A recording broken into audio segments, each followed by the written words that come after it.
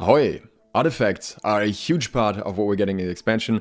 A new weapon tier that has special effects on unique weapons, so basically an extension of the current existing named weapons, though they typically uh, seem to have at least equally good or better drop rates than named weapons.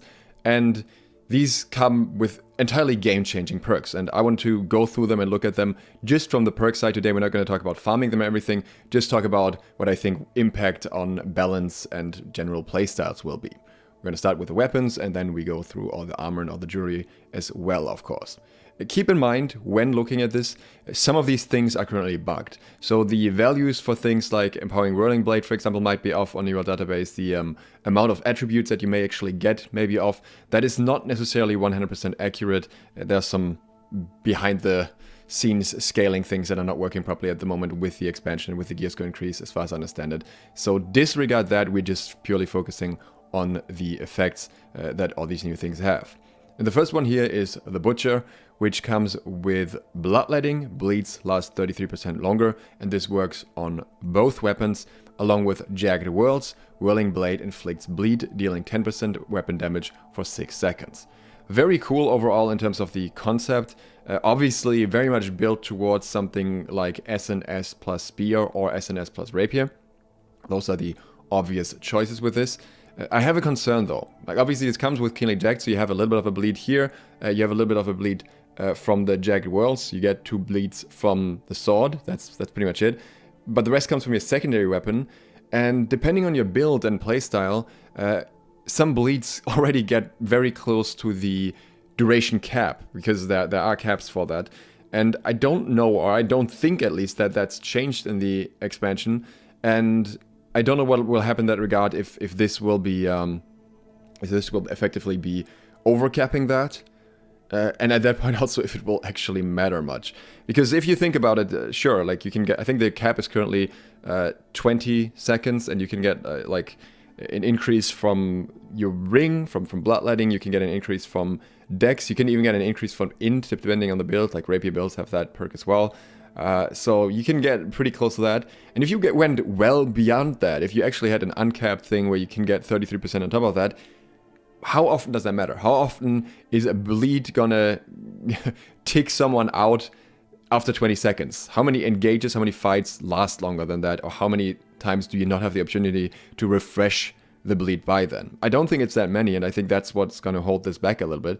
Uh, I think this would have been more effective if it was bleed damage. And that makes me question a little bit how effective this will ultimately be. Okay, moving on to the next one, that's just my thoughts for now. The next one is Finisher, a new Rapier. Um, very much in the in the PvE playstyle that we're seeing with Rapier, we have Finisher Harmony as the perk here. Attacks against bleeding targets deal 15% more damage and reduce flourish, uh, flourish cooldown by 5%. One second cooldown uh, works on both weapons. And that, I think, in comparison to the Butcher, is just a whole of a lot more impactful, right? Like this is extra damage. Like you apply any bleed and everything you do uh, does 15% more damage. That is going to have a bigger impact. So for bleed builds, bleed playstyle, this just seems like the better choice. Uh, like the only way I would see the other one is if you're going for a, a spear offhand and you don't want to run a rapier, right? And then you have Deadly Flourish here, which is unfortunately unchanged. Again, values may be completely off here, but the effect itself is still, it increases the damage of Flourish, which is actually not very impactful at all. It's a very minor amount of your damage. And then you have Keen Tondo, which is nicer now, by the way, because uh, this is a, a, damage reduction as well. It applies a 10% weaken as well, or weakness it says, but it's weaken, I think. So also interesting here that you have two weapon perks, right? You have two different weapon perks uh, on the same weapon. That was something that uh, used to be very, very, very early days. Uh, this used to be possible, then they removed that very quickly uh, for balancing reasons. So that's also coming back here in this particular shape of these artifacts. The next is the Warhammer Spark of Mjolnir. This was the one that I'm pretty sure we saw in one of the images. Um, now, I'm not sure if all of these designs are final, right? Because these icons, I'm pretty sure are just like the default uh, new tier or something. I don't think all of these styles here are how the weapons actually look in game. So I'm pretty sure it's actually the Lightning Warhammer. And I think that's going to be the case for a few other weapons as well. Uh, I'd be surprised if Freya's Francisca was just uh, just this normal pirate hatchet. So we'll see. But uh, yeah, just wanted to point that out. Uh, Mjolnir's Blessing, 99% of the hammer damage is converted to lightning, and you deal 20% more lightning damage with both weapons. Uh, this is where I guess the new perk comes in. There's the new uh, effect that deals extra lightning damage on your armor. This is the weapon that can actually use it. This is the one that actually benefits from this. And this is kind of cool in so far that no one will specifically counter build lightning damage, I think. So you're kind of save from like any uh, amulet things going on, for example. And then uh, this comes with a very interesting other effect as well, which is Spark. Mighty Gavel causes a lightning strike that causes uh, that inflicts a 50% weaken for 7 seconds. I think this could be very potent. Uh, there are more cleanses now with, with the introduction of Flail, but I think the overall damage output that you can do with this, as well as this massive weaken on an ability that was previously not even PvP suitable, for example, uh, yeah, I think that could be very, very interesting. Then you get refreshing Mighty Gavel along with that, obviously, and you get refreshing moves, so you uh, get that up even more often. By the way, uh, I should mention this. This random perk here, you can reroll that with certain resources. Uh, rumor has it that you can actually lock a specific perk on the last slot. I haven't fully confirmed that, but it seems like that's going to be the case as well. Uh, if that's the case, then obviously you can just make this your personal best in slot in terms of what you want to have and for, for your perks. Refreshing moves on Hammer wouldn't be my priority, so you kind of can't replace this one, but also not terrible. And I think the playstyle with this thing is going to be entirely different anyways. Uh, yeah, what is interesting here is that this is a little bit different, right? We, we get to this uh, weapon a bit later, but um, we have the Great Axe that also has converted damage, but uh, the Great Axe has a specific mention of scaling with intelligence. Uh, this does not seem to be the case for the Hammer. The, the Hammer just seems to be lightning damage and the weaken, but it's still uh, very much a strength weapon afterward. So yeah, a bit different, but I like it. Then we have Scorpion Sting. Uh, you've heard about this before. The devs have mentioned this. Javelin now does 160% weapon damage and pulls the target towards you. Along with that, you get Sundering Javelin and Trenchant Strikes. Don't know what's up with Trenchant Strikes here. Um, that's not really what most people use on a spear. I, I would not use that.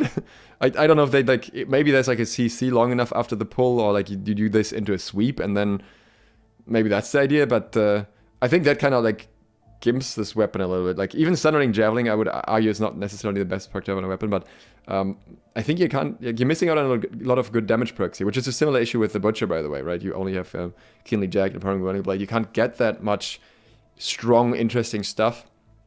So sure, I could see this uh, being like a fun thing in duels and for trolling, but I don't know how much effectiveness it will have outside of that. It, it depends a lot on. Uh, how good this pull is. If this pull has like an infinite range as well, probably not. Um, so like if you could yeet this at a healer at a far distance and and pull them all the way to like to the point in a war, then sure, uh, this would be very impactful. But I doubt that's going to be the case. So we'll have to see about the specifics here. I tried to go to Scorpio and get it yesterday, and of course, I got the musket again. So yeah, moving on. Speaking of muskets, uh, we actually have a good musket here, or a cool musket at least. So musket got a very significant rework. We haven't talked about that yet. Um, people have done some testing with it. There are some problems with it at the moment. Uh, might talk about that in the near future as well. But generally, uh, the concept of the musket is be more in like middle range, like 30 to 50 meters is I think the recommended range for maximum damage output. And you do uh, a lot of yeah, like a lot of trapping stuff as well, I think is, is what they're encouraging, and the mechanic goes exactly in the direction. So the perk here is extra levers, traps and sticky bomb cooldown reduced by 25%. Uh, then you have accelerating traps along with that for your movement speed, and you also get bleed on the trap, and you get mending sticky bomb, which also heals you for the damage done. Of course, if you stack that with a trap, you get the other lifesteal effect from that, so you're just gonna have ridiculous amounts of, of lifesteal overall, especially because both perks here are also on weapon and then you can lock your last perk. I think this is extremely spicy. This is uh, very much a very cornered playstyle, I would say, because you get upgrades for two perks and you get perk effects for two perks. Again, this is normally not possible. So this weapon says you are using traps and you are using sticky bombs. And I think that's maybe not the best. I would prefer if it was just like tied to, to one ability and say like this just amplifies uh, traps and then there's other things that you can do along with that to, to somehow utilize more effects. That's not what they're doing here. Um, so yeah, it's for a very specific playstyle, but I think it will be fairly good at that specific playstyle, especially when you have other things. I think it was um, stopping power. I don't, I don't know which one it was. Uh, one of the other perks also reduces your cooldowns now by I think 50% when it hits uh, on the musket, so you can reduce the cooldown of your traps and your bombs even further. And and the bombs also get thrown quicker, so you're just consistently spamming these ability and really just hoping that anyone uh, gets near one of your traps. Then we have the abyss you know about this one, I don't need to say much. It's the int scaling Great Axe. It's converted 99% of its damage into Void, and it will scale from intelligence if your intelligence is higher than your strength. And also you deal 20% more damage when below 100% mana, which I think the secondary perk is, is ridiculous. Like that's an insane amount of extra damage on top of this already very strong perk, which honestly seems kind of unnecessary. Because you're gonna, you know, obviously you're gonna be below mana below 100% mana most of the time, uh, unless you constantly crit.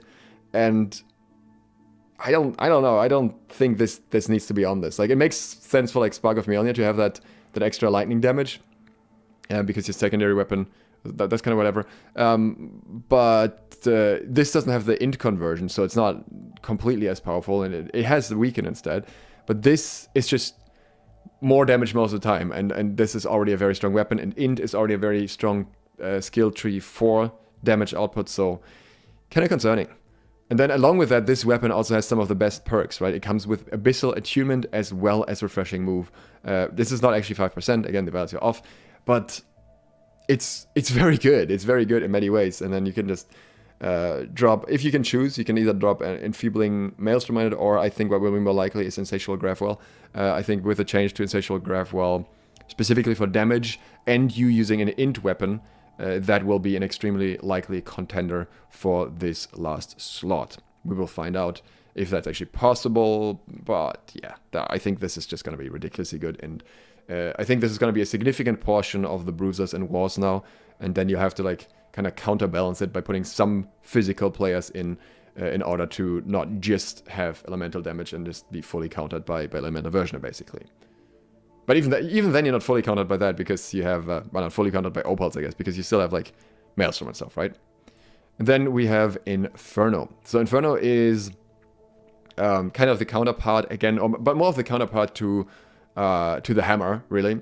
Because uh, here, again, if this uh, if it's higher, then this weapon scales with strength, but this doesn't get converted into physical damage. This is still fire damage afterwards. And this comes with a secondary effect, which is Hellfire's Fury, a 20% damage when you hit a target within 5 meters. I think this is very interesting, right? Obviously, you have the Incinerate perk on here, you have some Vicious. Uh, this would also obviously work very well with the Flamethrower playstyle. Um, but then I'm also thinking like you could also just use this from range for a while. It's just bonus damage if they get close. So I think there's a lot of interesting flex potential here with this Fire Staff, just weird combinations that you can do that you couldn't do before.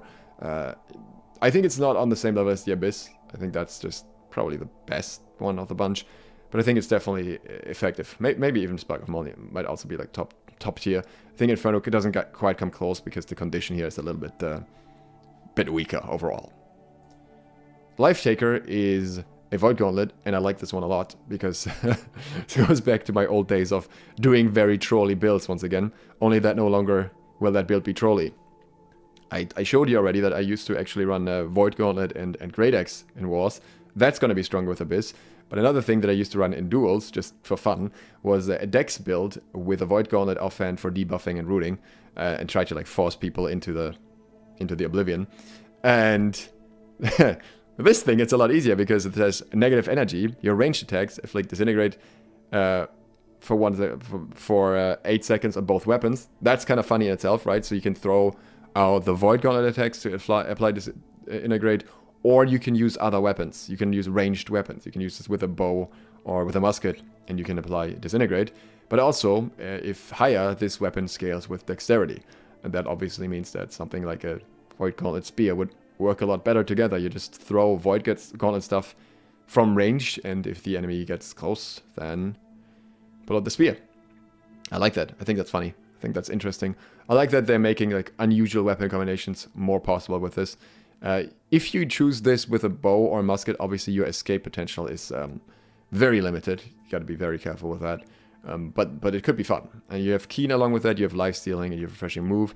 Uh, so actually you have uh, three perks here, right? Which is which is also interesting. And then you can get another perk on top of that. So you could just get enchanted on top of that as well. Very cool. I like this a lot. I think this is interesting. Freya's uh, Francisca is a throwing hatchet in the in every sense. So the perk here is Thrown Mastery. Thrown X abilities reduce all extra cooldowns by 25%. All extra cooldowns, I'm probably assuming it's all hatchet cooldowns. It has a 5 seconds cooldown though, so that kind of limits it a little bit. And then the weapon itself comes with Empowering Rending Throw and Refreshing Move. I would say of of all the skills here, this is probably one of the weakest ones. Uh, just because thrown ability cooldowns are already very, very short. Um, and yeah, the reduction is only once every five seconds, so it's not that often. I guess it's just so you, prevent you from just constantly spamming all of the abilities. I could be entirely wrong on this. I will say this. I, I could be entirely wrong. This could feel much, much better in game than I'm imagining it. I'm just, at the moment, I'm feeling like it might be kind of secondary to a lot of other things just because throwing hatchet in general is not that strong. But they also buffed a lot of different aspects of throwing hatchet. So through that, if if throwing hatchet in itself becomes effective enough to actually be good, which is possible, then this hatchet could suddenly be very, very good. So I'm actually, I'm going to be very careful with my assessment of this here. And I'm just going to say, right now, at first glance, it seems like, you know, with that internal cooldown, there, there are just better ones on the side here. But it could turn out to be very, very good if the right conditions are met. Also, this has uh, the upside of, of having a gem slot, which uh, some of the other ones don't have. Uh, so, for example, look at, at Life Taker here that doesn't have a gem slot, has an extra perk instead. Uh, and you still get the random perk on top of that. So, that's also nice some weapons will lose some damage here, right, by not having gem slots. You'll, you'll notice that, for example, uh, the Abyss by default doesn't have a gem slot. It, that's, it gets more damage for having less mana, but you don't get the, the Opal slot normally. Then we have Michael. they called it Michael. I don't, I don't know why. But I feel like this was like a work in progress name, and they were just kind of like, oh yeah, what do we call it? Oh, it's called Michael, and then just stuck with it. Uh, first perk here, Refreshing Cleanse or main perk here, Refreshing Cleanse, uh, cooldown reduced by 5% on block. Uh, no, sorry, cooldown reduced by 5%. And I think I think they're separate because it doesn't have any period in between, but uh, I think on block lose one debuff. I think that's how it's meant to be. Uh, which is pretty good, right? So basically you're almost never having any debuffs because the moment you get any debuffs on you just block. Uh, you get counter attack uh, unblock, you get power, and you get healing defense unblock, you get healing. So you get an insane amount of things every time you block. So you just block, attack twice, block, attack twice. The best bet for any enemy fighting you is basically to just ignore you, um, because you're probably not doing that much damage. so you have like life stealing you have all this healing, you have all this counter stuff, but yeah, it's not really an artifact that has much going on on the aggressive side, so maybe that's what's going to hold it back, but it's also a shield. So we're going to see how this works out. This could be could be very funny. Could be very trolly at least. Uh, I think the healing defense perk in itself is actually almost scarier than the cleanse though. So because um, flail comes with a ton of cleanse potential anyways. And then we have the wall. This is also one the devs talked about already. Shield wall uh, gain 5% base damage reduction. Pretty sure this is base damage reduction as in damage taken, not damage dealt. And because otherwise usually it's worded differently. Uh, also you cannot dodge but have 33% more stamina. So you're just blocking. You also get Chromatic Ward on top of that and take 25% less damage from all elemental sources. Very, very interesting. Um, this is probably going to be like the, the thing for tanks and wars. Um, just just holding the shield even harder. And you get sturdy on top of that and keenly fortified. Uh, so, yeah, good stuff. I, I like to see this. Actually curious, uh, for once I'm going to look down here. Oh, I dropped some hero. Never mind. I was going to say that there's a few interesting mobs I could have made, have it drop from. Hero works. Easy. Then we have Pestilence. Pestilence was one that was like weirdly worded in one of the articles. It's actually pretty cool. I actually think this could be uh, could be interesting in general.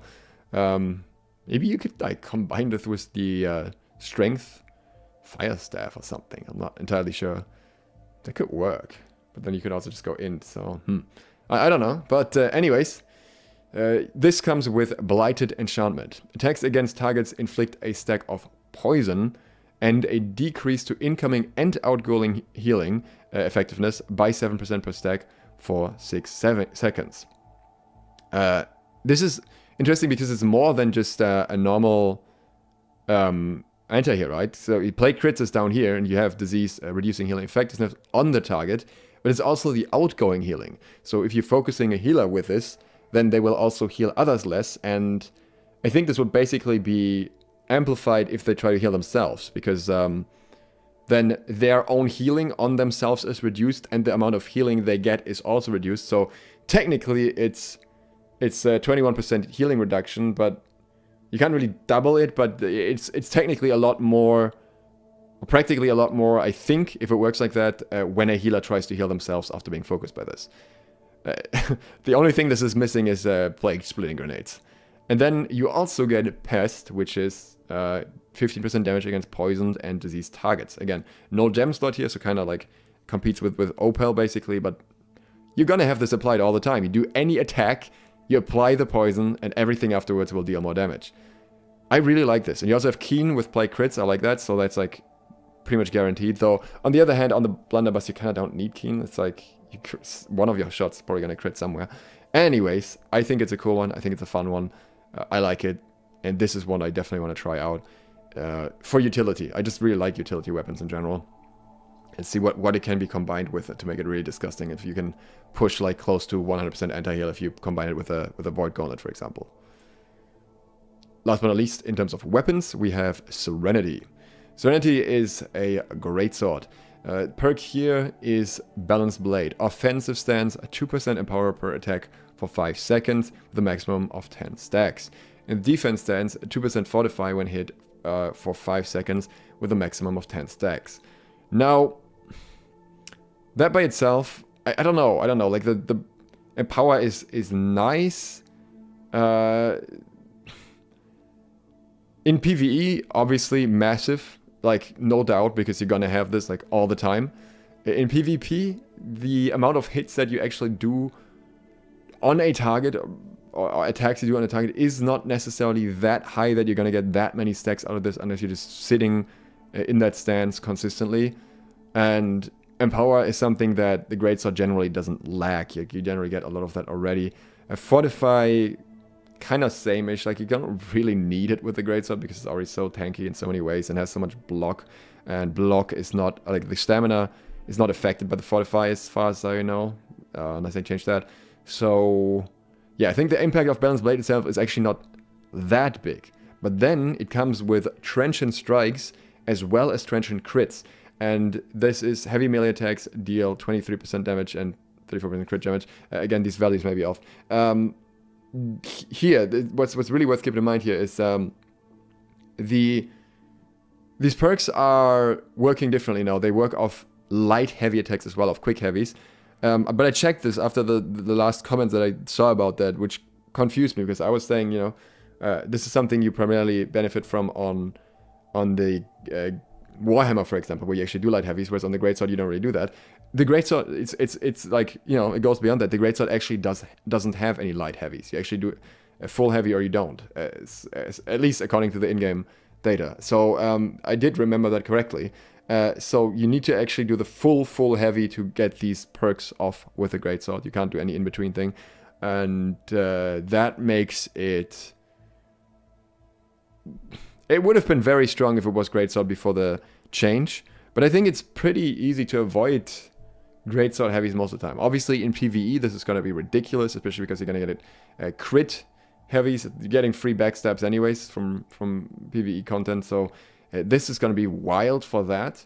In PvP, I, I don't know if I would choose this weapon over another one. I think I would probably choose another one and then have the Greatsword just be a, a normal Greatsword uh, with different perks that I think would likely be more effective. Because you're also losing the gem slot for this, so you're just very much relying on the heavy attacks. Um, and I mean, the Greatsword just never is full stamina, so that's like, the Opal is just guaranteed there. You get Ref Move too, that's cool.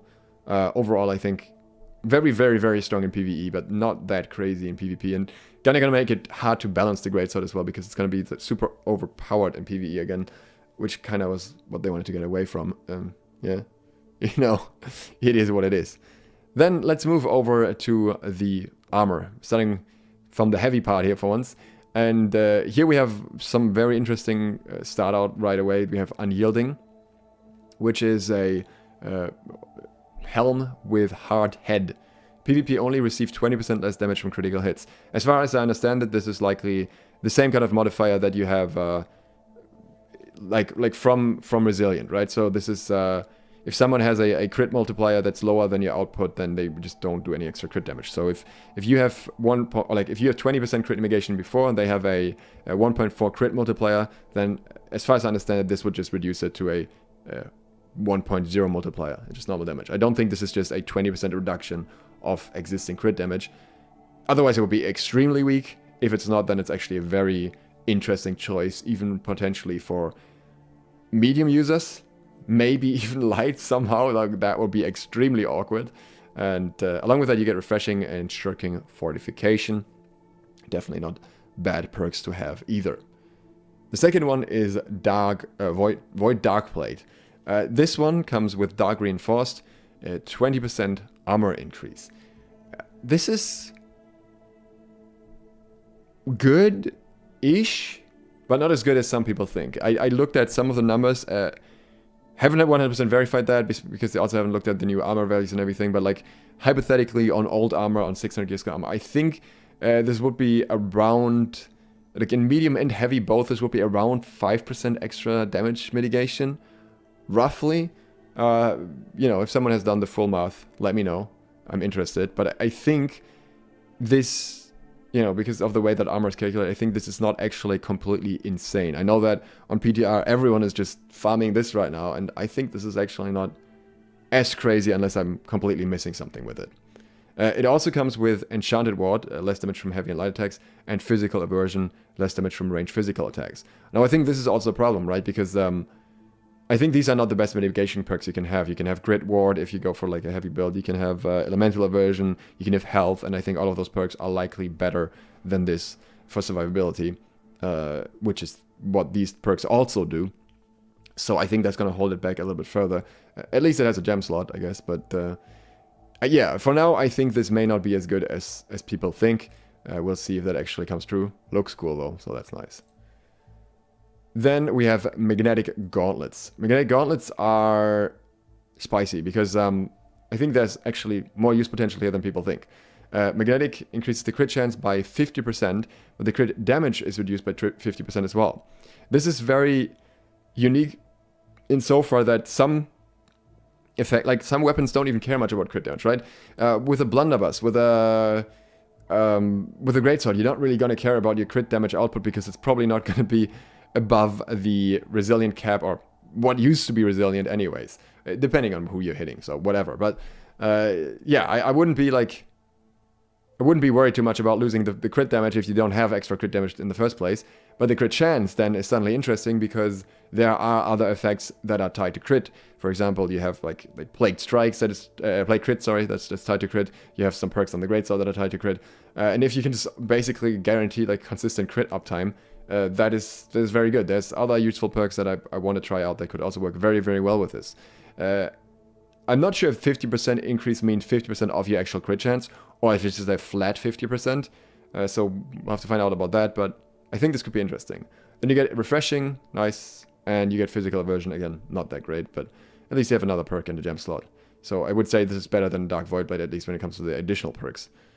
In the pants, the heavy pants are freedom. You have unending freedom, stun slows, and roots expire 25% faster. Uh, on top of that, you also get more freedom, and you get Enchanted Ward. Once again, I think this is not the best, but it's also not the worst. In general, I think this is definitely an interesting option, uh, depending on what you need. Like, I, I could see certain, like, tank builds that, that just say, okay, I just want to get out as, as best as possible. Uh, damage is not a problem for me, I just block most of that, but I just, I, I don't want to be CC'd for too long. And I don't know how this interacts with like caps and stuff because obviously you have certain caps uh, with things like well, with, with with other things in the game like like cooldown reduction for example. And uh, freedom is weird in that regard uh, and I'm, I'm, really wondering what would happen if you had like a full heavy set uh, freedom on every piece uh, and then unending freedom. I'm, I'm very curious what, what, would be happening in that case. Uh, I'll have to look into that. I'll have to try it out if it actually works if you can like basically almost entirely negate CC because then obviously this would be very, very interesting, and you could also technically run it in medium. Then we have the medium pieces. First one here is Djinn Head Wrap. Djinn Head is uh, shrug off. Non-crowd controlling debuffs expire 20% faster on you. And then you have Vigor and Invigorated. Again, these values are completely off. Don't get excited. I, am sorry, what? I, I Am I missing something? Or is this just the worst artifact? Like, I, I don't know what, like, I don't know what this is supposed to be for. I can't, can't tell you. We're moving on to the next one because I just don't know. I don't, this is just like they get they get one two pieces like like one and a half pieces of vigor invigorated in one. At least put the perks together instead of putting this on top of it. I I, I don't know. Very strange, very weird. Uh, I don't know. That's all I can say. Uh, but then we have uh, Nimble Leather Coat. Highly refreshing, reduces max cooldowns by 10%. Also comes with refreshing itself. And I think this would likely uh, go above the the cool the refreshing perk limit. Otherwise, I think this doesn't make much sense. So I, I think this is uh, gonna be a way to get an extra 10% CDR that you otherwise not would not be able to get. It also comes with health, which is also nice. So it actually has like good perks outside of that as well, which is helpful. So I like this one. I think this one could be very good. We have Ghoul Gloves. This comes with a Ghoul's Touch. Uh, when you hit a foe below half health, transfer one debuff, the 3 second cooldown. This sounds toxic. This sounds very interesting as a ranged player if you get hit by something. Um, but it's it's it's conditional, right? Uh, you know, the enemy has to be below 50%. You have to have a debuff on you. Whereas a lot of the other perks are just straight up, you do a lot more, you get a lot more.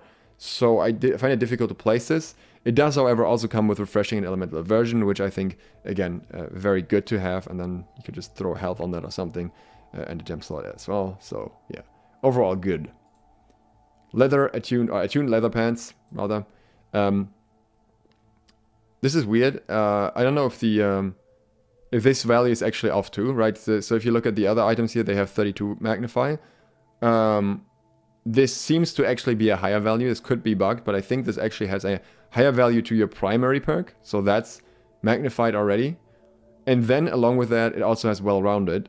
It definitely has well-rounded. I'm not entirely sure about this, but it it is labeled. No, it's labeled the same way. It's it's hard to tell. But yeah, I, I would assume this is a higher value, and then you have well-rounded, which gives you plus 10 to all other attributes along with that, and that is absolutely crazy, right? Because we have new capstones that are at 25 uh, points in an attribute, and you just need to invest 10 points into that, and you can reach those capstones with these pants, and you can basically like reach yeah, all capstones if you want to, which are generally useful, right? You have like stuff like CDR in there, uh, or light attack damage or something. So this could be a very, very valued one, very interesting one. Also comes with refreshing and elemental aversion, again, very good perks. I think this could be ending up uh, being one of the most favored one, one of the best ones, depending on how things go and how highly these perks are valued. And then we have the light ones. Uh, Grey Wizard's Head I, I don't know what's going on here. I don't know if it's bugged or if it's literally just more int. Because like if you compare that to the to the medium pants or the magnify, again, magnify could be entirely bugged, so who knows? And then it wouldn't really be that great. It's the only one that has like locked intelligence, so I'm assuming this is actually the correct value. Uh, this is a question of is the other one correct? Um, it seems weaker in comparison to, to me. It's like my impression is that it's not that that great. Get refreshing physical aversion, like physical aversion also not that great. Uh, don't really see much of a point to that. Kind of definitely bottom tier from what I can tell unless I'm missing something. Featherweight jacket comes with weightless. This armor is weightless, so this means that if you equip it, it doesn't count into your equip load. This is basically only for one purpose, right? This would be very useful if you could equip multiple uh, artifact armors at once, but you can only equip uh, one weapon, one armor, and one jewelry. I actually don't know how shields factor into that. But uh, since you can't um, equip multiple, you can't just get another cool heavy pants artifact along with that in a light loader or something, uh, but rather you just um, use this to equip a kite shield and light. That's what it's for. Like, that's a very big trade-off just to be able to equip a kite shield. I gotta be honest. I, I, I asked a question for the devs, and I have a feeling they may answer that question with this answer instead of giving me the answer I'm hoping for. And I, I don't think that would be a good answer because I don't think this is a good item. I don't think you should be like, you know, doing this and, and equipping a kite shield instead of getting whatever, like 30 more attribute points or getting 20% uh, resilient or something along those levels. It's just not on the same level at all, in my opinion. You just have a kite shield. Uh, comes with refreshing and physical aversion. Again, physical aversion also not that great. And we have Tumbler Shoes. Same perks here once again. So to talk about that, uh, this comes with Shirking Blessing. Successfully dodging an attack gives you an Empower and a Fortify for 5 seconds. Uh, 15% Empower, 25% Fortify. You're also healed for 200 plus 2% of your max HP. This is absolutely interesting, right? There's a lot going on here. Uh, I think people will definitely want to try this out. I think this is one of the season pass ones. Uh, so yeah, season pass here. Uh, that that is gonna be one that everyone gets, so everyone's gonna run it for a while, basically. So on the free pass. Uh, yeah, I, I am not a fan of artifacts being on the season pass. I will I'd say that. Uh, we can talk about that more in the future. Uh, I don't think that's where they should be. Uh, just because what if you miss out on the season and then this becomes best in slot and you can never get it? So I think at least they have to put it somewhere else afterwards. Uh, somewhere where it's obtainable still. Because otherwise, I think this could create a pretty bad imbalance, especially because this is one of the better perks.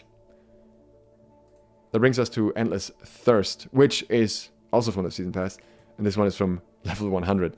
Uh, fortunately, it's not exactly insane, but at the same time, it's probably the best jewelry um, jewelry pack that we currently have, I would say, for, for in terms of artifacts. So, yeah, you kind of have to grind that season pass. Again, not a fan of that being locked behind that. What will happen after the season?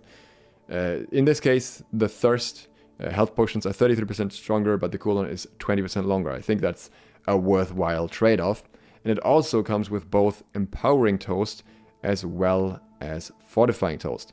Uh, as far as I can tell, yeah, these are exclusive labels. These is both consume, and there aren't really that many important perks on on earring, especially because refreshing toast was nerfed to 10% anyways.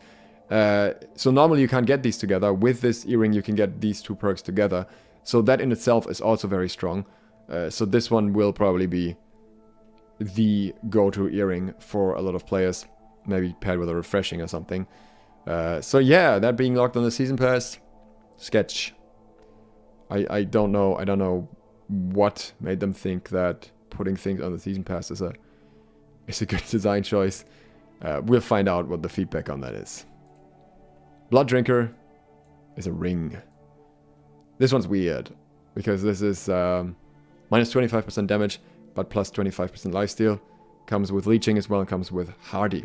Now, I could see a use case for this though, and that is um, PvE. People have been saying, you know, my, my Trenchant Recovery got nerfed.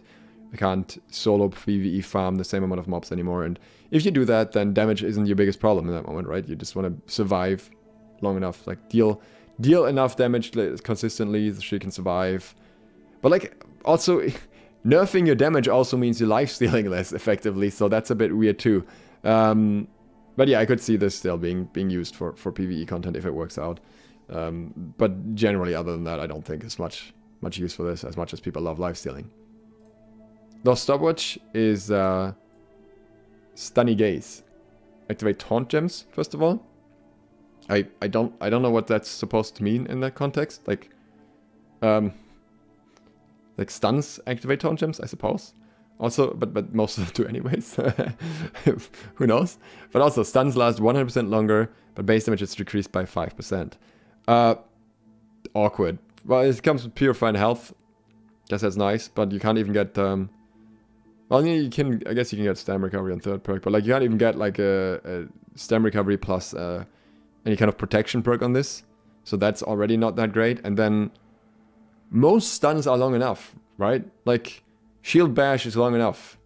Uh, Sundering Shockwave, sure, could be longer, especially if the enemy has a lot of freedom. And that's kind of a... that's kind of where it ends, isn't it? Sure, I'm forgetting one or two stuns right now, but there aren't really that many uh, effective stuns in New World anyways. So, yeah, um, don't know. It's kind of weird. I don't think this one will be used much in general. Unless I'm missing something with the activate taunt jump spot and it's somehow really good for tanking. Uh, yeah, strange. And then there's the last artifact that uh, is just bugged. I don't know what happened to that. I, it, it, was meant to exist, I guess, and then got replaced with Lost Stopwatch. Uh, it was from the PvP track, apparently. uh, while the Lost Stopwatch is not. So, yeah, that's another one. Anyways, these are my thoughts on the artifacts so far.